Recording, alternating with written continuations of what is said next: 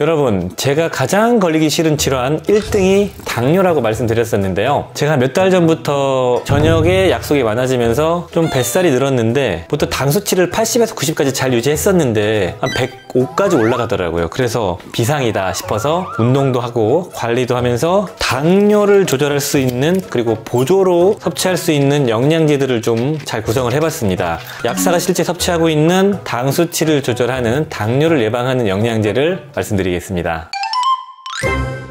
약들약? 안녕하십니까. 약들약의 고약사입니다. 화이팅 먼저 외치고 시작하겠습니다 화이팅! 자, 오늘 영상은 제가 당 수치가 몇 달 전에 재보니까 좀 높아져가지고, 아, 당 수치를 조금 신경 쓰자. 그러니까 정상 범위에서 한 몇 정도 높아지고 왔다 갔다 하는 패턴이 좀 보여서 어, 좀 더 신경 써서 영양제를 세팅을 했는데요. 당뇨, 제가 정말로 무서워하거든요. 당뇨는 그 당 수치 그 자체의 문제라기보다는 당이 높아지면서 발생하는 여러 가지 합병증, 체내 염증을 유발하면서 또는 혈관이나 신경계를 손상시키면서 또 나아가서는 장기를 손상시키 는 시키는 그 합병증이 무서운 거죠. 어, 그리고 과잉한 그 당, 당뇨는 당이 많이 떠돌아다니는 거니까 그 당이 고지혈증과 고혈압을 또 유발합니다. 그게 나아가서는 혈관을 망치고 심근경색이나 뇌졸중까지 유발할 수 있기 때문에 급사를 시킬 수 있는 거죠. 그러니까 어찌됐든 간에 혈관병을 유발하는 게 무섭기 때문에 당을 조절하는 게 되게 중요한데요. 그래서 이런 당 수치가 높아져가지고 거기에 대응하기 위해서 제가 그동안 중요하다고 말씀드렸던 그 보충제, 제가 실제로 섭취하고 있는 보충제를 말씀드리겠습니다. 어, 광고 아니고요. 제품명은 말씀 못 드립니다. 그냥 이런 성분으로 먹고 있다라는 걸 좀 보시면 좋을 것 같아요. 어, 그래서 일단은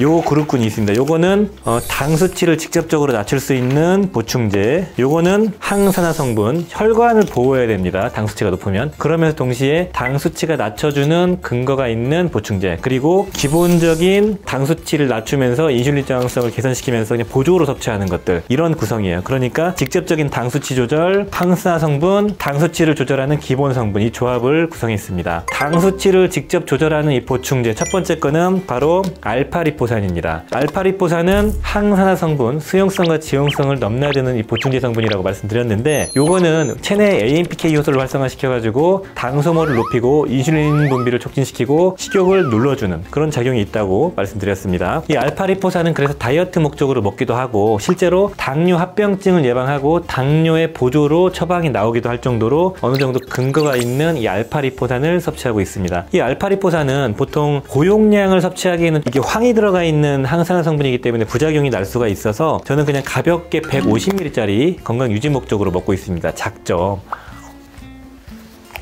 공복에 하루 하나 섭취 중이고요. 자, 그리고 두 번째 보충제 성분은 우리나라에서 나온 여주 추출물이고요. 광고 아닙니다. 여주가 제가 말씀드렸었죠. 그 식후 혈당 상승을 눌러주는 작용이 있는 식약처 개별 인정형 원료인데요. 이 여주 추출물 같은 경우는 1.8g짜리를 하루에 세 번 먹어야 되거든요. 그 정도로 많이 먹어야 되는 거고 해외 제품보다 용량이 높고 품질이 더 좋기 때문에 국내 제품을 구해서 섭취 중입니다. 어, 이런 여주 추출물은 우리 몸에서 P인슐린이 인슐린이라는 유사 인슐린 성분이 여주에 들어있어서 작용을 하기 때문에 직접적으로 혈당을 낮춰주는 작용이 있습니다. 그래서 탄수화물을 많이 먹거나 과식을 했을 때 그때 먹어요. 그러니까 바나바잎 추출물 같은 경우는 인슐린의 작동 민감성을 높이는 작용을 하지만 여주 추출물은 직접적인 인슐린 유사 작용을 하기 때문에 효과가 빠르죠. 그래서 일시적으로 조절하면서 먹기에는 여주 추출물이 좋습니다. 이거 하루에 세 포 먹어야 되는데 이렇게 미세 과립 형태라 먹기가 편하죠. 그냥 하루에 한 포 또는 두 포 정도 조절해서 먹습니다. 여주는 대단히 쓴 야채 식물이죠. 그런데 이렇게 환으로 만들어 놓고 정제해 놓은 거기 때문에 먹기가 편합니다. 이 제품은. 그래서 이 알파리포산과 여주 추출물을 당을 직접적으로 낮추기 위한 어, 보충제로 활용하고 있고 이 알파리포산은 생각날 때마다 먹고 있고 이 여주 추출물은 제가 가방에 휴대하고 다니면서 식후에 필요할 때마다 섭취하고 있습니다. 약들약. 자, 그리고 두 번째 그룹군으로는 항산화 성분인데요. 항산화 성분 중에서 제가 요즘에 집중적으로 먹고 있는 거. 당 수치가 높아지면은 이게 염증 수치가 높아지고 산화적 손상이 많아지면서 혈관에 문제가 생기고요. 혈관에 염증을 유발해서 혈관을 경화시키면서 혈관이 딱딱해지고 더 나아가서는 혈관의 출혈이나 경색 같은 걸 유발할 수가 있습니다. 그래서 항산화 성분, 항염증 성분을 잘 챙겨 드셔야 되는데요. 그 중에서도 당뇨를 조절할 수 있는 당의 도움된다는 좀 근거가 있는 그 자료가 있는 것들 위주로 먹고 있습니다. 첫 번째는 바로 리포좀 비타민 C 건강기능식품으로 요즘에 나오고 있더라고요. 그래서 먹고 있고 하루에 하나 또는 두 알 먹고 있습니다. 이 리포좀 비타민 C의 장점, 신맛이 거의 없고 위장장애도 거의 없고 먹기가 편하죠. 그리고 흡수율이 생체 이용률이 높다. 그 이유는 인지질로 비타민 C를 코팅해 놓은 비타민 C이기 때문에 그렇습니다. 저 비타민 C 잘 못 먹거든요. 가루도 못 먹고 그 다음에 정제도 먹기 어려운데 생각보다 편하게 먹고 있는 게 바로 이런 리포좀 비타민 C입니다. 최근에 식약처에서 리포좀 비타민 C를 인정을 해서 리포좀 비타민 C로 제품이 나오고 있습니다. 검색해서 그냥 구매하시면 되고 두 번째는 제가 그렇게 좋아하는 혈관의 항염증, 항산화, 혈관 이완에 도움 주는 피크노제놀을 먹고 있습니다. 이 피크노제놀은 당 수치를 직접적으로 낮춰준다는 데이터도 있고요. 혈관을 보호해주고 고지혈증 개선시켜준다는 그러니까 혈압, 당뇨, 고지혈증을 다 개선시켜준다는 성인병을 예방하는 되게 특화되어 있는 성분입니다. 그래서 피크노제놀도 매일 하나씩 먹고 있습니다. 피크노제놀은 꼭 당뿐만 아니고 다양한 이점이 있기 때문에 챙겨 드시면 되게 도움이 되실 거고 어, 그리고 세 번째로는 글루타치온도 먹고 있습니다. 이 글루타치온은 기타 가공품입니다. 건강기능식품이 아니기 때문에 리포좀 이런 표현이 없지만 그 리포좀 구조로 만든 순도가 85%짜리를 먹고 있는데 생각보다 맛도 있고 먹기 편하고 글루타치온은 제가 워낙 좋아하는 다양한 이점이 있지만 이런 항산화 항염증 목적으로 섭취하고 있습니다. 그래서 글루타치온은 순도와 함량을 보셔야 되는데 보통 한 250에서 500 500ml를 섭취하셔야 되고 이게 250ml짜리거든요. 하루에 한 포 정도 꾸준히 먹고 있습니다.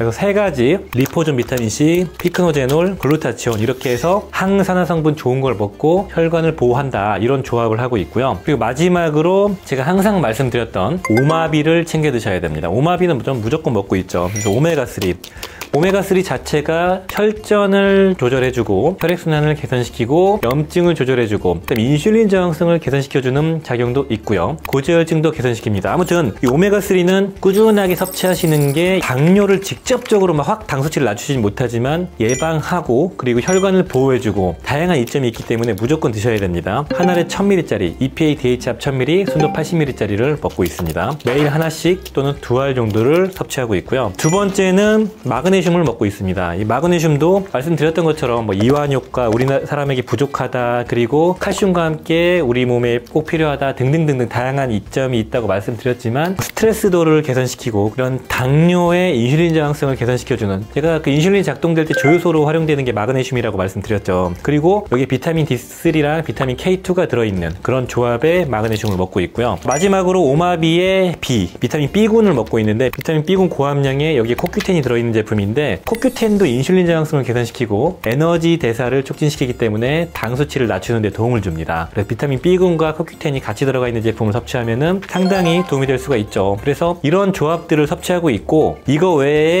뭐 당에 도움되는 걸 제가 영상에 정리했던 게 뭐 바나바이, 뭐 호로파, 크롬, 바나디움 뭐 그런 게 더 있다고 말씀드렸는데 저는 제가 잘 맞는 거 그리고 실제로 도움받는 것들 꾸준하게 먹는 것들 이런 조합들을 하고 있습니다. 그러니까 물론 이 탄수화물 줄이고요. 뱃살을 좀 줄이고 그리고 어, 운동을 해야 됩니다. 그런 것들을 하면서 같이 섭취하시면은 시너지가 나는 조합들인 것들이죠. 그래서 요약하자면은 혈당이 확 올라올 때를 조절하는 게 이런 여주 그리고 꾸준하게 섭취해서 혈당이 완만하게 유지되는 게 알파리포산 혈당이 높아지면서 혈관 손상이나 혈관에 어떤 데미지가 가는 걸 차단하기 위해서 이런 항산화 성분들 리포종, 비타민 C, 글루타치온, 피크노제놀을 먹고 있고 기본적인 당 조절과 기본적인 에너지 대사를 촉진하는 오마비를 먹고 있다 이렇게 말씀드리겠습니다. 자 오늘 영상이 도움이 되셨으면 좋아요, 구독 부탁드리겠습니다. 감사합니다. 빠이요.